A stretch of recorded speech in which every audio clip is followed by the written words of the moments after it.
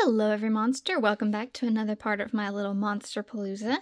And today I will be opening the Creepover dolls, which I am super excited about because I've had them for so long, but a lot of things have been going on right now with my family, with my home life, with school, and I just literally have been sleeping on them. Like, I have the entire Creepover line, and the only one I've opened so far is Twyla. So I am super excited to get these dolls finally out of the box and um, then they can join my kind of little creepover setup here. I know this Draculaura isn't a creepover doll, but it comes with kind of like the coffin bed, and I've got Twyla over here, so I just can't wait to free them and check them out. So right now, I think I'm going to unbox Miss Draculaura. She's my favorite. I really love the fact that she has baby hairs and these buns. She comes with tons of accessories and a little Count Fabulous that actually has his wings folded up instead of out, which is super cute. Here is the artwork. I love it. This artwork's actually really nice. It's got Twyla in there, which I was super excited to get her basic doll in Gen 3. You can see there is artwork on the side here and on the bottom. Check the shoes, those are cute. Here is the side of the box. It just says Monster High. Here is the back of the box. The whole thing is art. I love it. You can see Draculaura is over there painting her nails. And there's the squad over there. Frankie looks adorable. I can't wait to unbox them. Here is the side of the box. Has more art that is supposed to go with the doll, so there's sweet screams instead of sweet dreams. A moon mask, a diary. Ooh, I can't wait till we get G3 diaries. I would love that so much. Scary cherry drink, that's cute. Ice scream, which the Dead Tired um, Abby doll actually comes with ice cream, so I wonder if that's kind of a hint that she will get a Dead Tired doll. That would be super awesome. But yeah, I'm going to take this plastic piece off and then show you what Draculaura looks like in the display of the box, and then I'll completely debox her. Here she is kind of out of the box, and this Monster High symbol actually has different types of sparkles than the first line of dolls, and you know I like to take these off and display them, I can actually show you.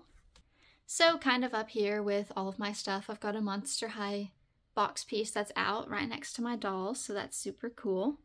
So here's what Miss Draculaura looks like in the box, and oh my goodness, her robe is so soft, like I can't stop just feeling it. If I had a robe this soft, guys, I would never take it off. It would be so bad. Um, two different colored earrings, which I love that they made the black one on the pink side and the pink one on the black side. Here's that box art again. There's cute nail polish, I love that, and the little spiderweb tub, a face mask, a pillow, and a little bed for Count Fabulous. And there's what the floor looks like with all the art there. And just the creepover art. So yeah, I guess now I will completely debox her and we'll see how everything looks. So one thing I kind of wanted to note before you completely take Miss Draculaura out of the box is that her robe down here was held in by two little pins, so just be careful when you're ripping her out. I don't know if it might tear the material. I was able to just to just um, carefully snip them off, but just be careful when you're unboxing her because she does have her robe pinned in at the bottom, and I'm sure the others do too. And um, once again, I just thought it was funny. I'm probably going to take her head and rip it out of the box because they put it in there so tight. There we go. Miss Draculaura is free. Okay, so here is Miss Thing out of the box. She is so, so cute. I'm in love with all of the pink and black. It's so good. Like, this is a whole vibe right here. So she has little space buns and some baby hairs. And like I said, the earrings are hearts with bat wings, and they've got the pink one with the side that has the black hair, and then the black one with the side that has the pink hair.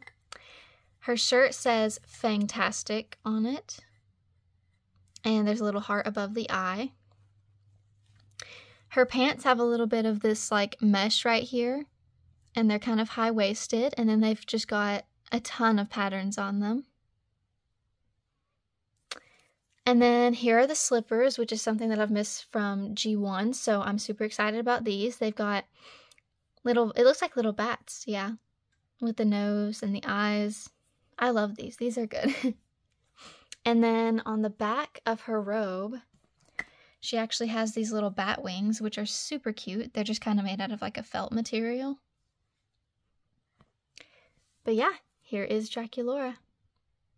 So here is the little bed for Count Fabulous. It's super cute. It also has a pillow and then like little stars in it. And there's the back. And it just lays here like this. And then here's little Count Fabulous with the little wings all tucked in, kind of sitting down. I love the bow. I think very similar to the original one, um, as in like the G3 original one that she came with, her first wave for Gen 3 other than just that this time this time um Count Fabulous is sitting with the wings tucked in.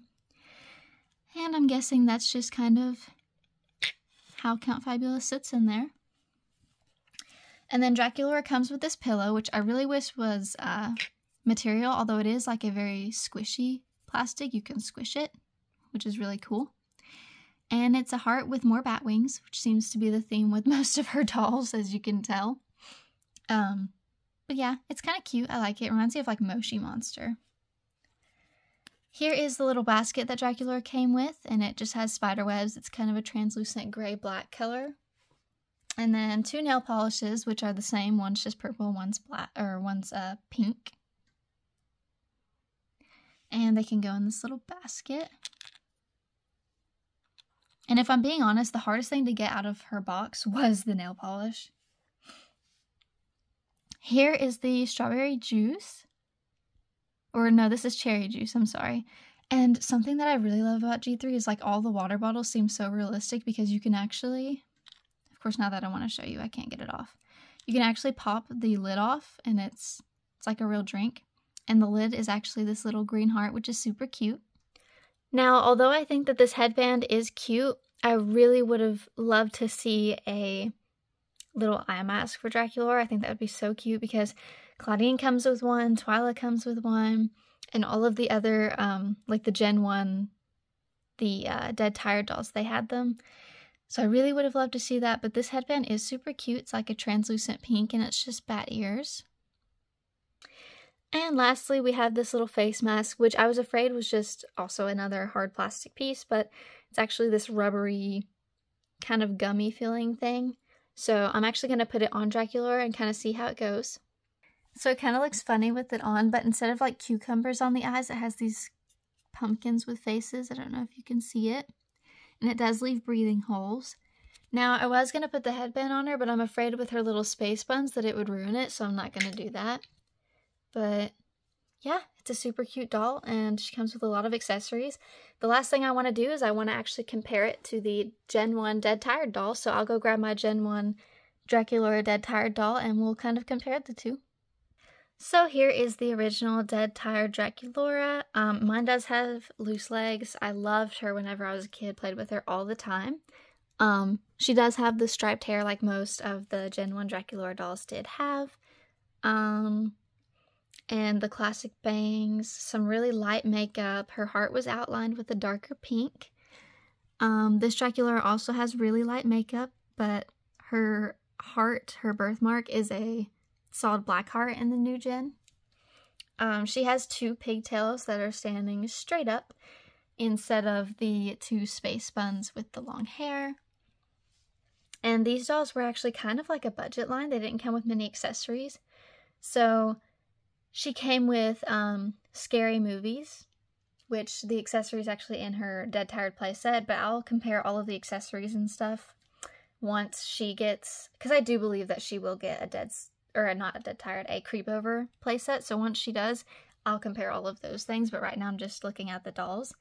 Um, so this Draculaura did have a a, a sleeping mask that was already on her and I've never moved it. I've never taken it off because I didn't want to ruin the doll, so I just left it. So this is just how she came. Um, she has this light pink outfit with ruffles and a black bow. So it's completely different, but still Draculaura, still cute. And then her shoes were little hearts with bat wings, which kind of matches this whole theme a little bit more because she has a lot of hearts with bat wings, but it still has the little cute bat face with fangs. So I think it's pretty cool that they kept the fuzzy slippers with faces on them. So yeah, these are the two kind of side by side. I'll grab both of them so you can see what they look like um, when they're standing on the same level. So here's kind of what they look like. There's obviously like a big height difference because they actually made this generation Draculaura shorter, which I love. Um, but yeah, their makeup is really similar and their shoes are pretty similar, so I like that. Their lipstick is almost the exact same color. I love the purple eyes and the light pink eyeshadow. They're both just super cute, so I hope you enjoyed this. I loved getting to do this for you guys, and I hope you guys have a great week. Let me know what you think about her and if you have her or if you want her. Bye!